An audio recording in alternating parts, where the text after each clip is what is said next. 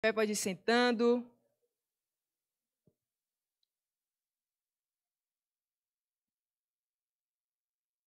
Vou pedir aqui para o meu professor orar, que eu sou estagiária nessa turma. Oremos. Pai Santo, nós te louvamos pela tua bondade, pela tua misericórdia, pela tua graça, pela tua soberania, pelo teu poder.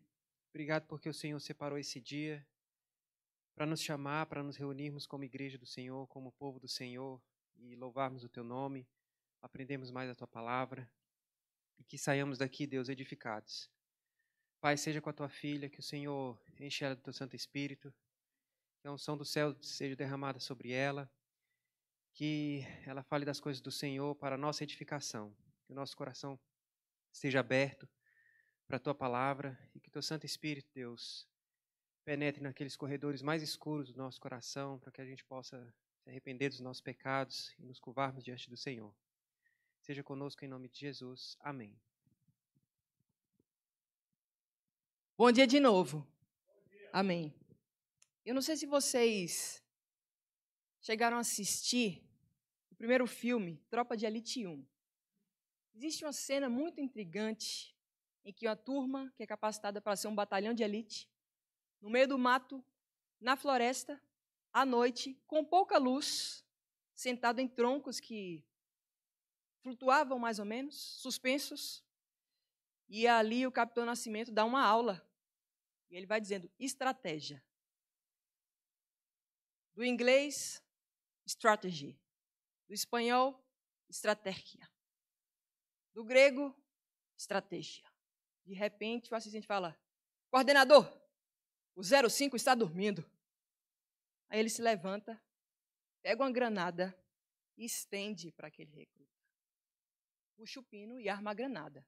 E diz: 05, se o senhor dormir, o senhor vai explodir a turma toda. O senhor vai explodir os meus assistentes. O senhor vai me explodir. Aí ele pega o pino e coloca no quadro. Estamos confiando no senhor. E volta. Estratégia. Do latim, aquele recruta ou soldado 05, ele não pisca o olho mais. Segurando aquela granada, olhando para frente, e todos os colegas com muita ansiedade no coração, ninguém pode piscar nessa aula. Tratando especialmente disso aqui, nessa noite, nessa manhã, nessa área de celular, se Deus permitir, eu gostaria de abordar com vocês a questão da economia da atenção e a nossa batalha espiritual. São duas coisas que andam juntas. Se Deus permitir, eu vou chegar até lá. Então, por favor, abra sua Bíblia. Eu queria pedir para que esse lado de cá abrisse em Eclesiastes 1, versículo 8, e esse lado de cá abrisse em Provérbios 27, 20.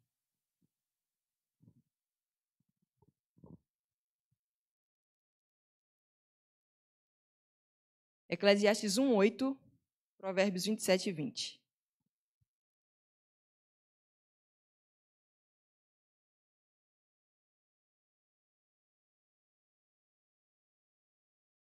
Achamos? Vou pedir para esse lado aqui ler o versículo de Eclesiastes no 3. 1, 2, 3.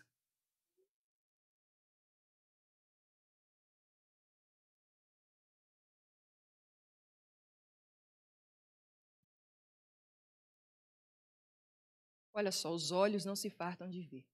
Provérbios 27, 20.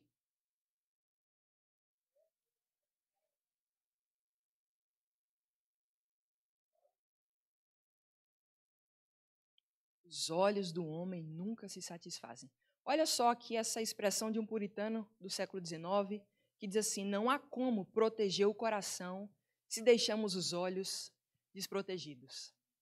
Tratando especialmente sobre a economia da atenção e batalha espiritual, nessas aulas aqui, geralmente a gente precisa entrar em um assunto ou outro até abrir a Bíblia e ler esse assunto. Então, o B da nossa EBD não sumiu, mas a gente precisa ainda apresentar várias coisas aqui antes de falar disso. Então, permita-me aqui alguns termos em economia. Um dos axiomas que existe em economia é a, o axioma da escassez. Nós não temos todos os recursos do mundo, nós não temos todo o dinheiro do mundo, nós não temos todo o tempo do mundo. O fato de nós termos recursos limitados faz com que nós tenhamos que escolher sempre alguma coisa. O seu orçamento limitado faz com que você escolha algumas coisas e diga não para outras coisas. Toda vez que eu escolho algo nessa vida, eu estou dizendo não para um milhão de outras coisas. Escolher é sempre renunciar a algo.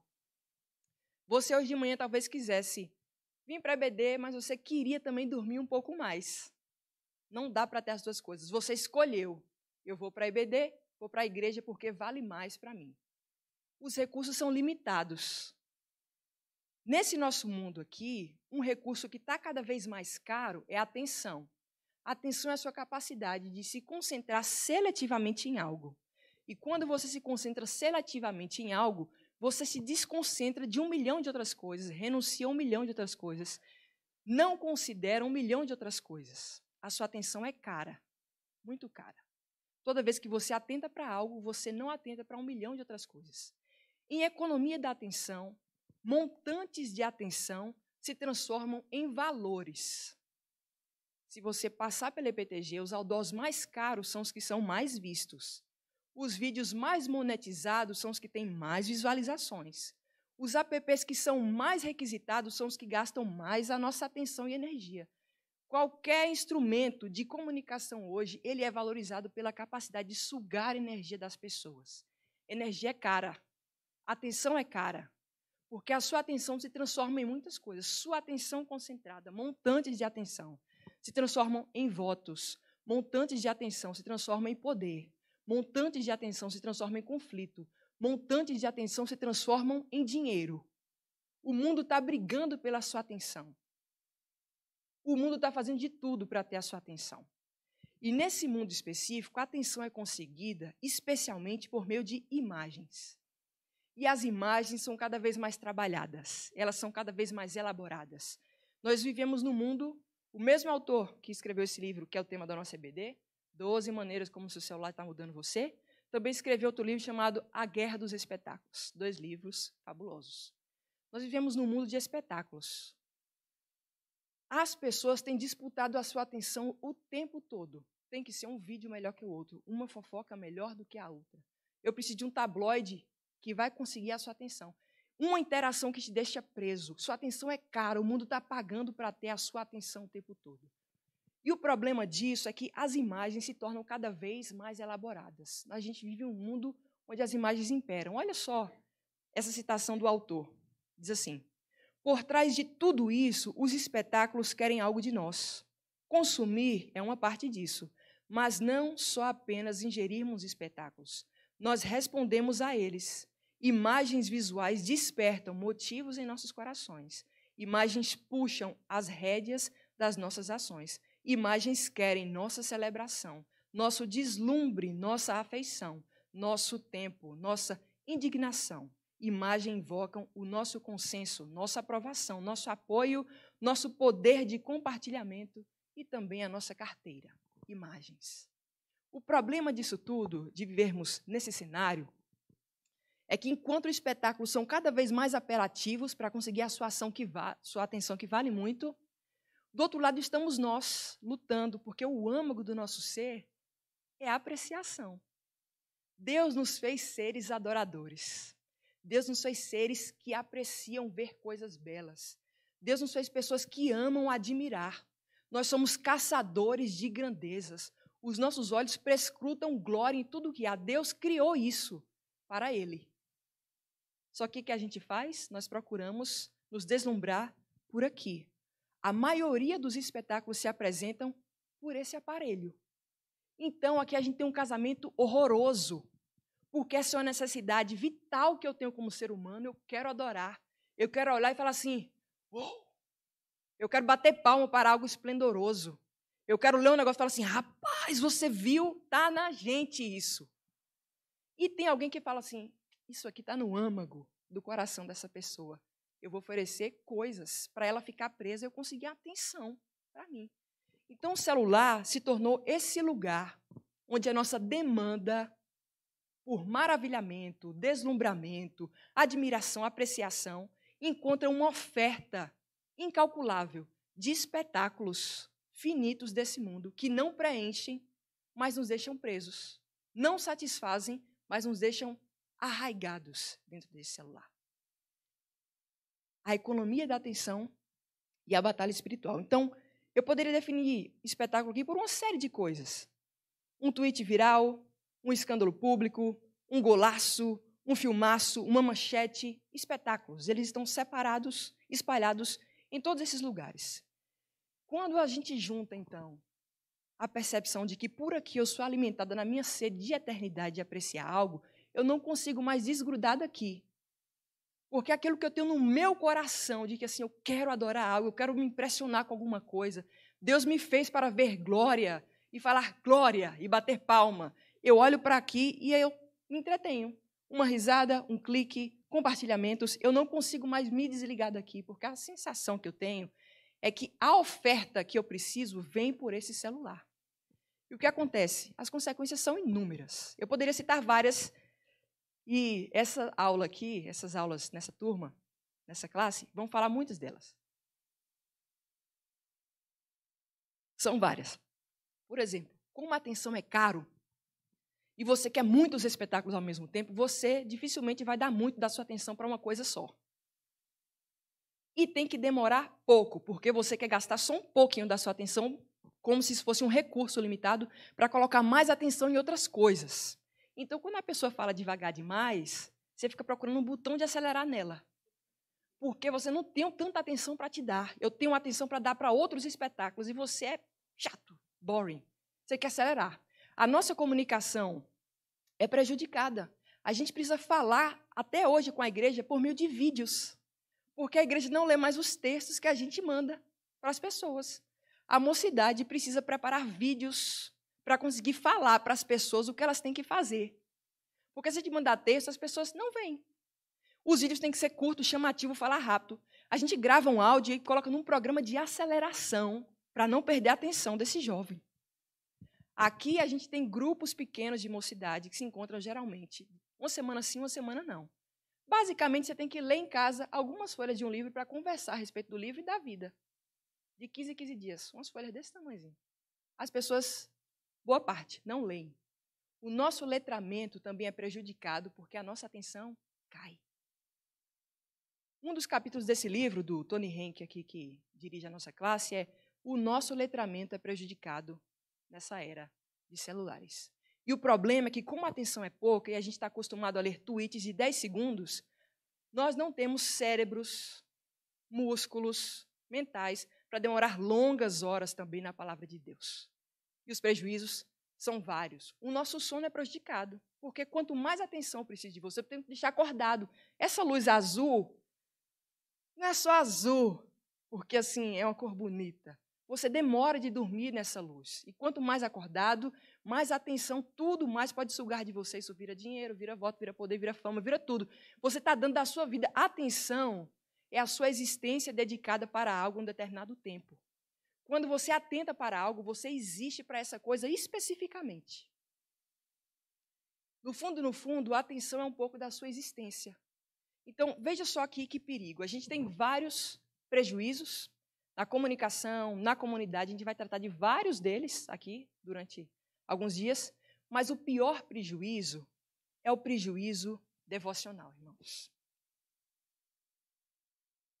Quando eu digo prejuízo devocional, eu não estou falando só de eu não fiz a minha devocional hoje. Pode ser também. Você fez? Não fez ontem? Fez nessa semana? Não é necessariamente não fazer a devocional. O fato é que quanto mais a nossa atenção está pulverizada em muitas coisas, o tempo todo olhando para vários lugares, dificilmente eu consigo atentar de uma maneira concentrada e devocional em um Deus que deveria centrar toda a minha atenção. Quanto mais diluída eu estiver em várias coisas nesse mundo, nesse planeta, um vídeo que passa, uma vaca que flutua, qualquer coisa, menos intensidade eu tenho de adoração a Deus. Eu perco o foco. Por favor, abra aí Marcos, capítulo 12. A gente vai ler junto alguns versículos.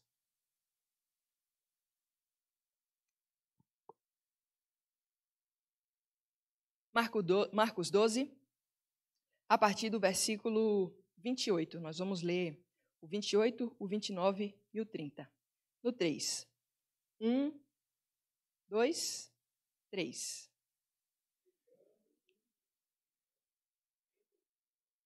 Entre eles, vendo como Jesus opera escondido bem, perguntou qual é o principal de todos os mandamentos. Respondeu Jesus: O principal é: ouve, ó Israel, o Senhor nosso Deus é o único Senhor. Amarás, pois, o Senhor teu Deus de todo o teu coração, de toda a tua alma, de todo o teu entendimento, de toda a tua força. Coisa interessante. Jesus está repetindo isso aqui do Antigo Testamento. Ele não está falando isso pela primeira vez. Isso que é conhecido como Shemar Israel. Ouve, ó Israel. Traduzindo de outra forma, é tipo, atenção, Israel. Quando Jesus perguntado sobre o principal mandamento, ele puxou o Shemar, que começa com atenção, Israel. O Senhor é o único Senhor. Adorarás, pois, o Senhor. Olha só quantos artigos definidos. O Senhor, o Senhor. Depois, o único Senhor. Adorarás o Senhor. O texto chama a nossa atenção, esse é o chamar. Atenção, Israel. Existe um só Deus. É impossível viver isso aqui quando a nossa atenção concorre para várias coisas no planeta. Adorar a Deus de toda a força, de todo entendimento, de todo o coração, de toda a alma, exige muita atenção. Ninguém consegue viver isso aqui desatento.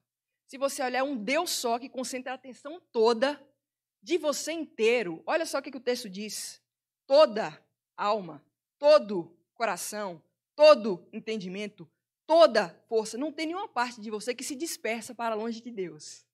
Isso aqui. O texto vem mostrar para a gente que se a gente vier a amar a Deus do jeito que Ele nos chama para amar, é preciso muita concentração e não desconcentração, que a gente não pode se desligar de Deus.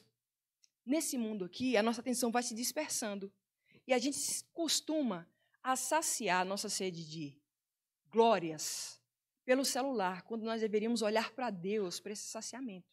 Mas a gente vai se acostumando, né? A gente vê essas coisas, um romance apaixonado, uma vitória épica do seu time, uma perseguição policial ao vivo. Eu vi uma vez uma baleia jubarte engolir uma mulher que fazia caiaque. A baleia veio, ela era desse tamanho. O caiaque era desse tamanho.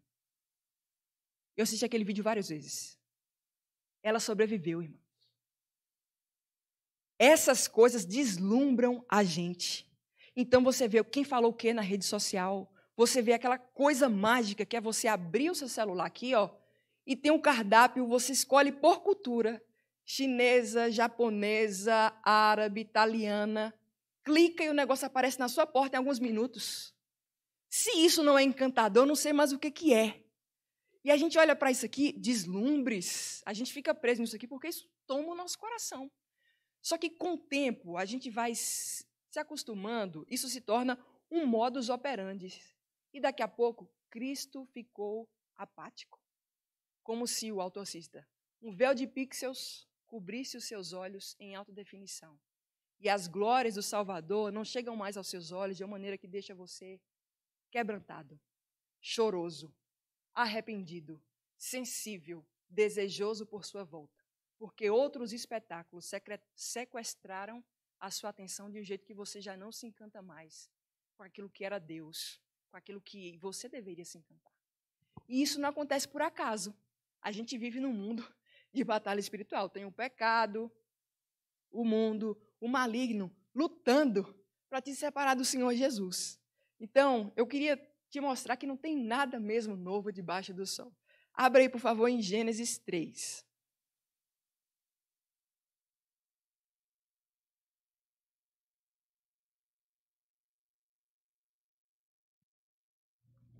Achamos? Vocês podem ler no 3. 1, 2, Gênesis 3, do 1 ao 6. 1, 2, 3.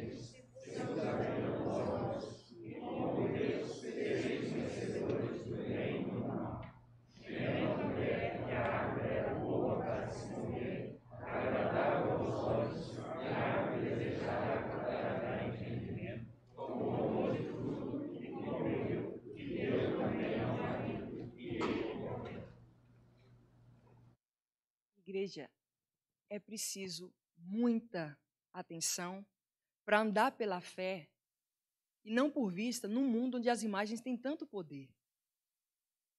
Em marketing, especialmente falando, um dos métodos que é mais conhecido, acho que um dos mais antigos e tradicionais, é chamado método AIDA, AIDA.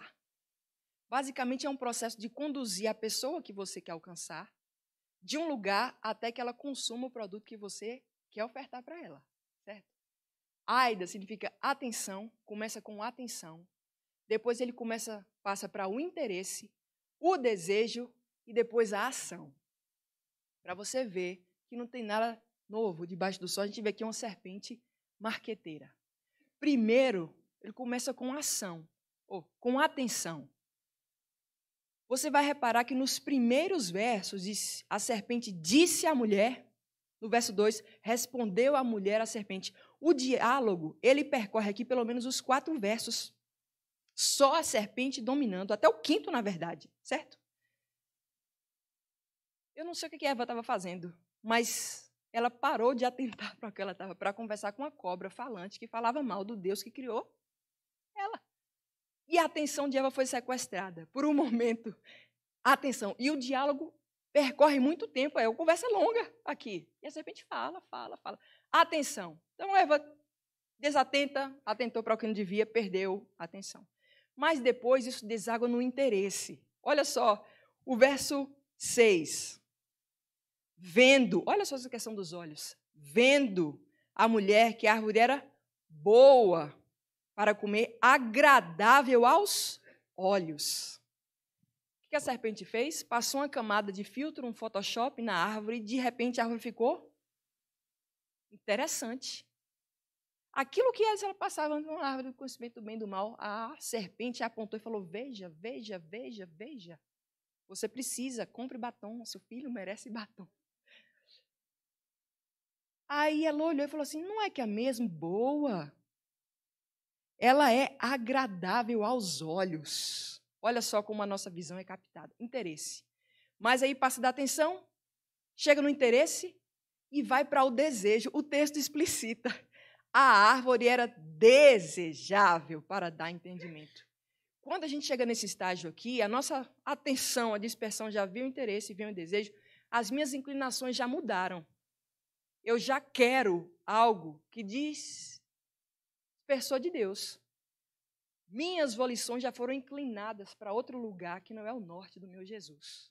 E eu comecei vendo um negócio, conversando, interessando, e daqui a pouco meu coração se inclinou para o mal. Já deseja, ela, eu quero.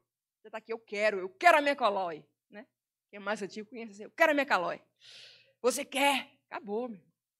E o que, é que ela fez? O último passo é ação. Olha, comeu, tomou, comeu e deu. Pegou, comeu e compartilhou. Certo. Marketing bem sucedido. Tem marketing do bem, tem marketing do mal. Mas todos eles trabalham inicialmente com a sua atenção. E quanto mais você olha para a coisa, sempre tem uma propagandinha aqui, uma propagandinha ali. E quando você menos espera, você já está longe, longe, longe, longe do seu Salvador. Começa com algo despertando seu olho, e daqui a pouco seu coração se inclinou também, e você inteiro acaba caindo. Mas vamos ver mais aqui que o inimigo continua com essas estratégias. A gente está tratando aqui de economia da atenção e a batalha espiritual. Né? Então vamos a Lucas 8.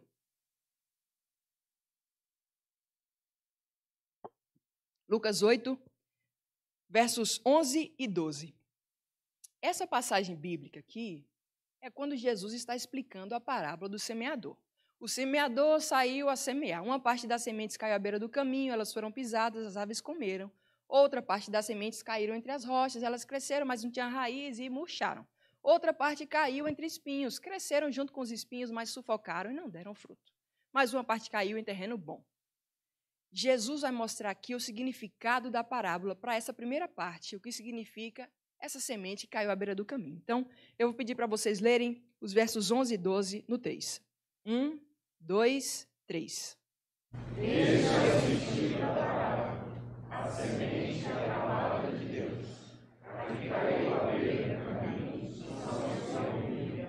Venha, Senhor, arrebatar de sua palavra, para nos dizer que queremos sejam salvos.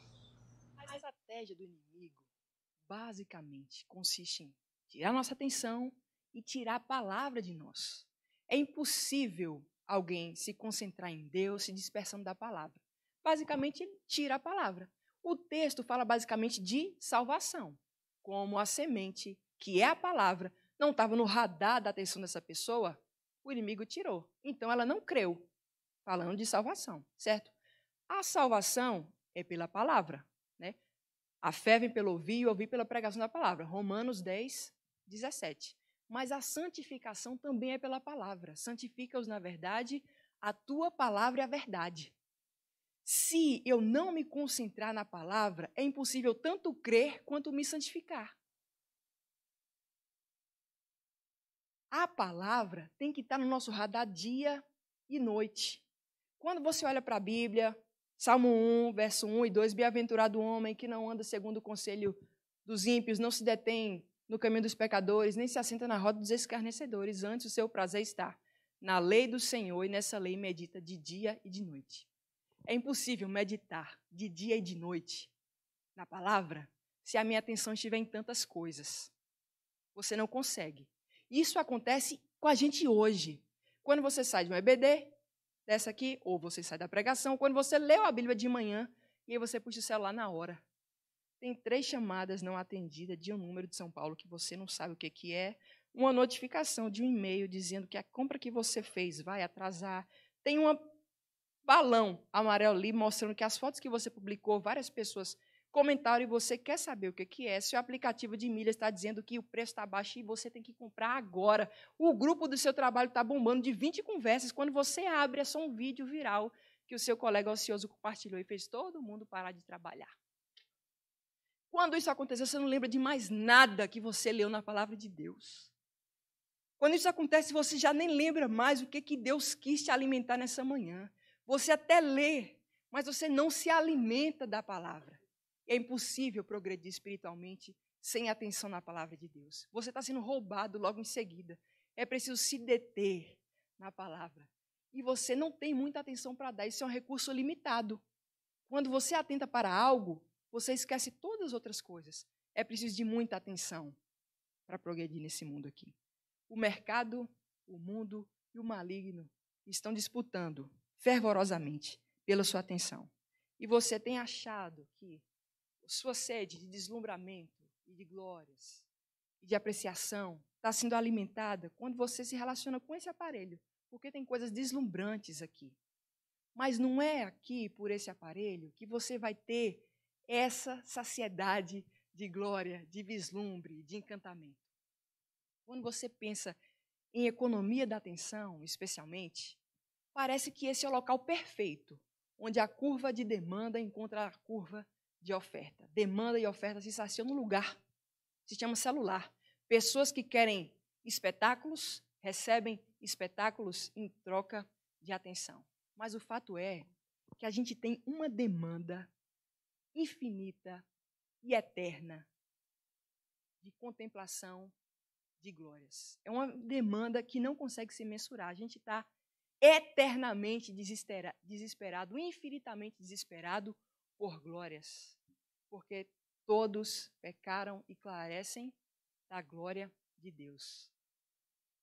Para uma demanda infinita, eu preciso de uma oferta infinita, perfeitamente infinita, gloriosamente infinita. Só Deus poderia providenciar algo desse tipo. Ele fez o impossível possível. Se você tentar desenhar um gráfico, quando a curva de demanda encontra a curva de oferta, aquele ponto, aquele ponto define qual é o preço de um determinado bem. Você não consegue desenhar em nenhum gráfico uma curva infinita de demanda, uma curva infinita de oferta. E você não consegue imaginar de que jeito essas curvas infinitas conseguem se cruzar. Mas Deus fez do impossível o possível curva, como se diz assim, né? a demanda e a oferta se encontraram no infinito. Como se Deus, na sua oferta infinita de amor, alcança a demanda infinita do pecador em sua miséria, a um ponto que se encontra em Jesus Cristo, que é o preço da nossa salvação. A cruz é esse lugar onde Salmo 85, 10. Encontraram-se a graça e a verdade, a justiça e a paz se beijaram. O impossível se torna possível na cruz.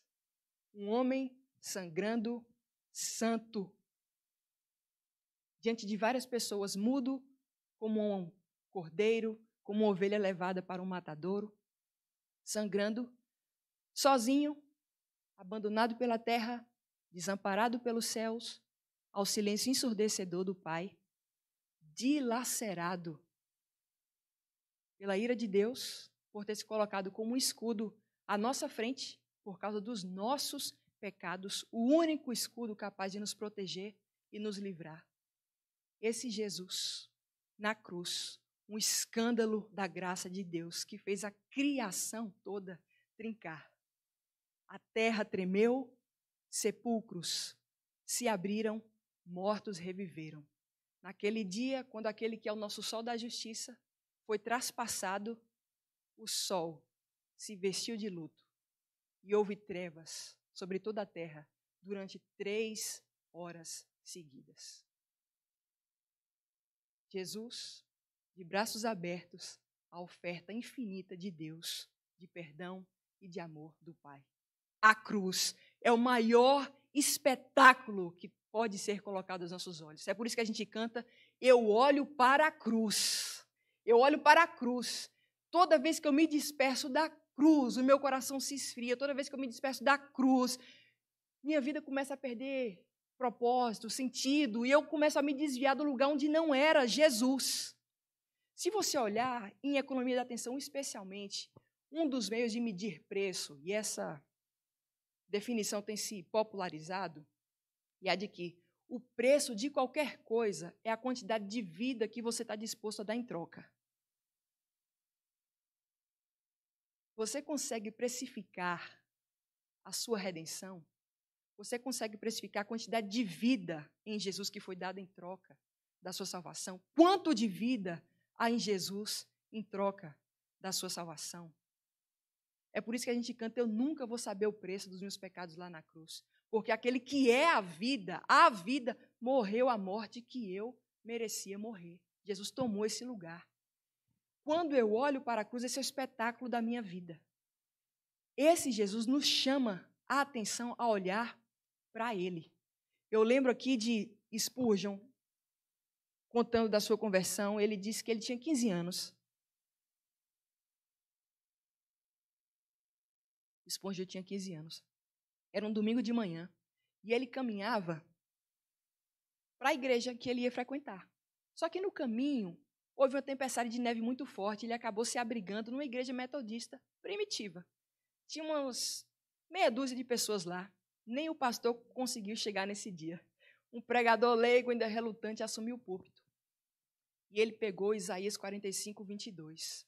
E Deus diz assim: Olhai para mim e sereis salvos, vós todos os ternos da terra, porque eu sou Deus e fora de mim não há outro. E aquele pregador olhava para Spurgeon e dizia assim: Jovem, olha para Cristo e você será salvo. Olhe para Cristo e você será salvo. Olhe para Cristo e você será salvo. Olhe para Cristo e você será salvo. Ele conta que naquele dia foi como se Deus, do seu arco, disparasse uma flecha ao coração dele. Ele diz que os olhos dele se abriram como se ele pudesse ver claramente o caminho da salvação. E a partir de então ele não conseguia ficar mais do que cinco minutos sem pensar em Jesus ou trabalhar para Jesus ou fazer alguma coisa para Jesus. Os olhos dele foram abertos de tal maneira que o coração dele foi atingido e a vida dele toda foi inclinada para Deus. Quando a atenção dele foi captada pelo próprio Senhor e os olhos deles se, dele se abriram para ver a cruz, a vida dele toda se direcionou para aquele lugar. Hoje eu estou falando para você aqui, como que recito chamar aqui. Atenção, Israel. Ouvi, atenção, IPG2. Ouvi, atenção. Você está dando a sua atenção para todos esses aparelhos aí. Mas como eu citei no começo aqui, eu estou aqui armando uma granada na sua mão aqui, ó. Eu tirei o pino. E eu vou pendurar aqui, para você lembrar para onde você tem que olhar é o Jesus que foi pendurado no madeiro. Se a sua atenção se desviar dele, bum, você vai cair. Você vai se afastar do Senhor Jesus. O seu coração vai se esfriar. Mais do que esses espetáculos, nós precisamos olhar para um espetáculo maior, que é o espetáculo da glória de Deus. Esse Jesus, ele há de voltar. E ele há de nos chamar para fazer parte do seu espetáculo. Nesse momento, a igreja é um espetáculo, certo? Mas a gente vai participar desse cenário todo de glória. Mas a gente não pode perder essa visão do futuro. Então, eu quero caminhar aqui para oferecer para você três pílulas de realidade para você começar a ver isso aqui de um jeito novo, que podem sarar a sua vida, pelo menos emergencialmente. A gente já falou aqui de, de graça, então a gente pode falar aqui de obediência, já falamos do evangelho, então podemos falar aqui de como viver essas coisas na prática. Então, eu queria que você abrisse. A primeira pílula está em Mateus 5, versículo 29.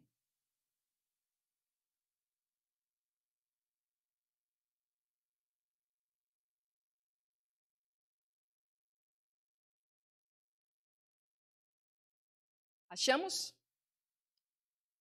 No 3? 1, 2, 3. Se o teu faz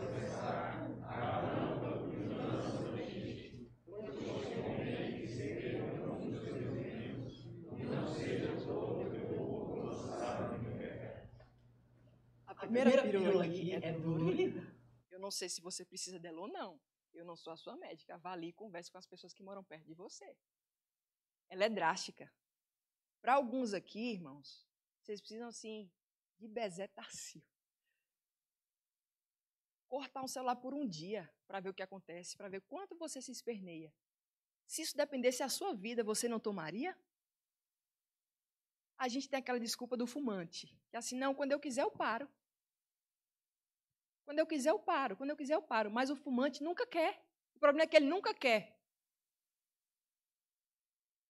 o desejo de querer nunca vem. Então ele sempre é fumante. Você fala assim: não, o dia que eu quiser parar com o celular, eu paro. Para.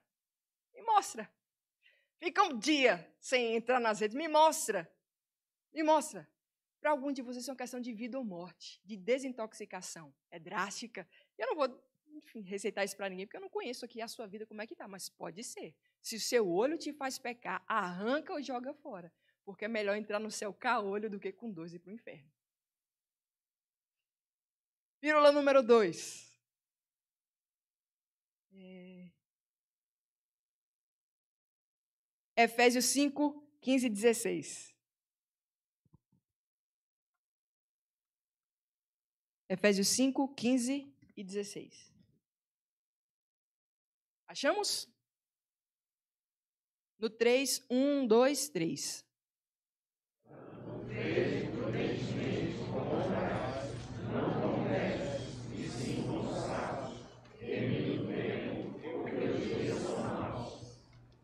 Vede prudentemente como andais, não como nécios, mas como sábios, remindo o tempo, porque os dias são maus. A gente, às vezes, precisa separar um tempo para usar o celular. Particularmente, eu tenho feito muito isso.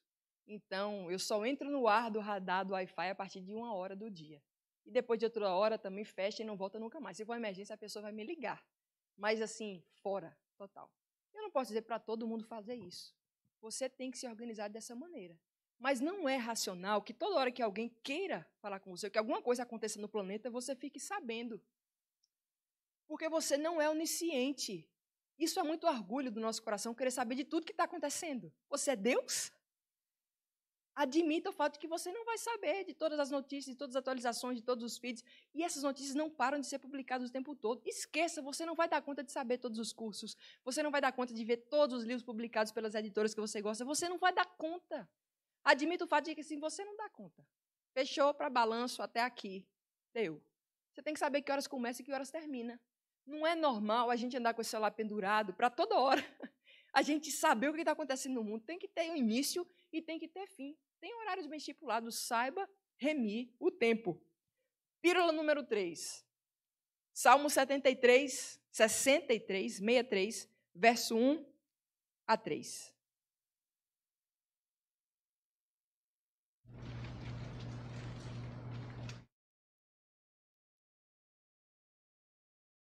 Sessenta e três, verso um, dois e três. Vamos lá no três? Um, dois, três. Ó Deus, tu és o meu Deus forte Eu te busco ansiosamente. A minha alma tem sede de ti. Meu corpo te almeja como terra árida, exausta sem água. Assim eu te contemplo no santuário, para ver a tua força e a tua glória. Porque a tua graça é a minha Amém. Ó oh Deus, tu és o meu Deus forte, eu te busco ansiosamente, a minha alma tem sede de ti. Nós precisamos ter essa realidade no nosso coração, nossa alma tem sede de Deus. E o que, que a gente faz? A gente busca a Deus. É um hábito que a gente tem de pegar o celular sem ter nenhum propósito definido para fazer. Você pega esse negócio e você esfrega para ver que mágica que vai acontecer. Que gênio da lâmpada que vai sair daqui. Você, você abre o celular e só depois se decide que aplicativo que você olha, qual que é mais. Você vê o que, que aconteceu. É tipo uma lâmpada que você esfrega e fala: vamos ver. Isso é a morte. Toda vez que a gente pega assim, vamos ver o que está acontecendo? Dá aquela esfregadinha. A gente precisa ter propósito para usar isso, senão a gente vai ser enredado aqui. Vou mandar uma mensagem. Mandei a mensagem. Vou pagar um boleto. Paguei o boleto. Quero conhecer as notícias do mundo. 30 minutos. Conhecer as notícias do mundo. Quero falar com fulano. Falei com fulano. Terminou. Eu sei o que eu vou fazer com o celular antes de pegar o celular. Porque se eu pegar o celular para decidir o que, que eu vou fazer, ele vai dizer o que, que eu tenho que fazer. E você vai ficar preso lá. Você fala, nem vim aqui fazer isso. O que eu estou olhando aqui? Relógio em mercado japonês.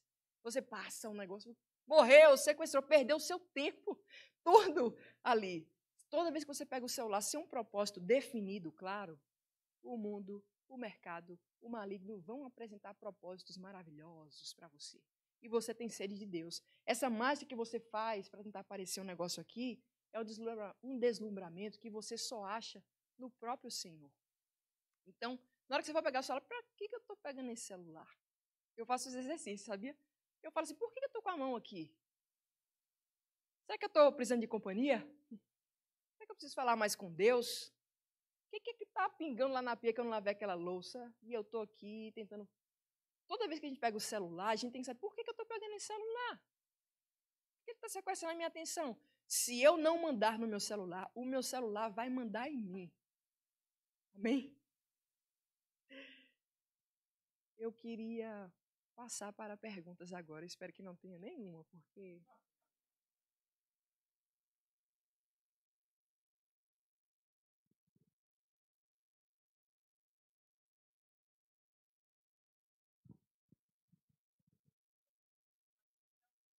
Quando você falou da desintoxicação, quase não sai, do celular, me lembrou um fato, ano retrasado, cinco amigas, uma delas tinha perdido a atenção das quatro, perdeu a atenção de uma.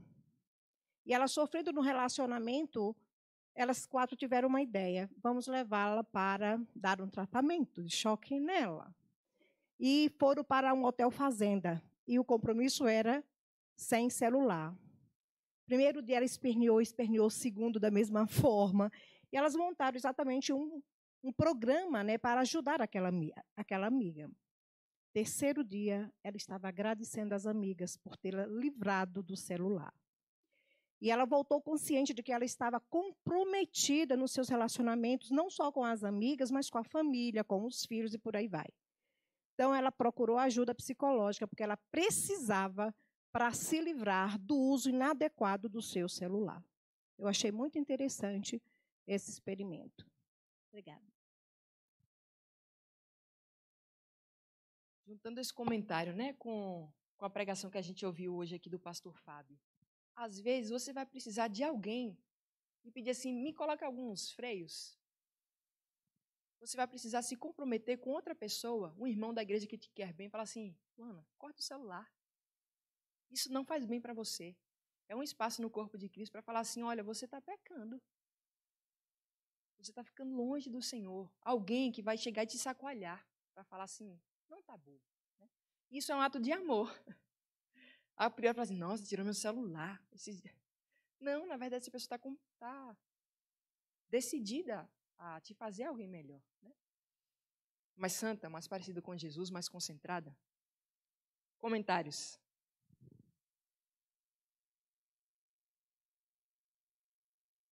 Podemos orar, igreja. Amém. Vamos orar, então? Um cedinho, né? Você pode orar para a gente, Mimi? Você quer comentar? Não?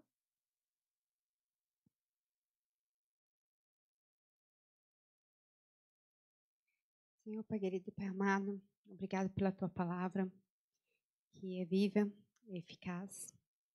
Nos atinge, meu Pai, no mais profundo do nosso pecado. Obrigado porque o Senhor não nos deixa na cegueira dos nossos pecados.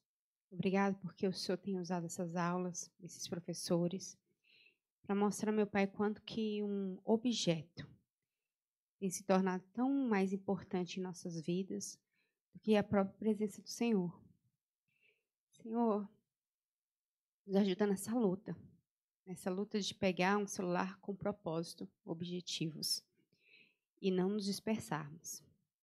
Nos ajuda, Senhor, a dar mais valor à tua palavra, a meditar na tua palavra, a conhecer da tua palavra, do que é estar conhecendo, meu Pai, é a vida de um artista, está sabendo da vida de outras pessoas que pouco influenciam, meu Pai, em nós positivamente como o Senhor. Que o Senhor seja a nossa força.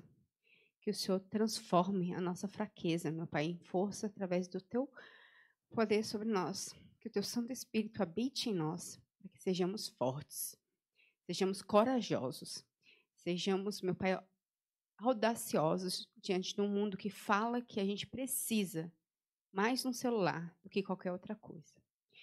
Abençoa, meu Pai, a todos os que estão aqui, nos dá um ótimo domingo, que seja um domingo realmente dedicado a Ti, dedicado à Tua palavra, dedicado a fazer a Tua vontade e não a nossa. Abençoa o culto à noite, abençoa os pregadores, abençoa a nossa igreja, meu Pai. Sejamos fiéis a Ti em tudo o que viermos a fazer. E que eu te peço em nome do seu Filho Jesus. Amém.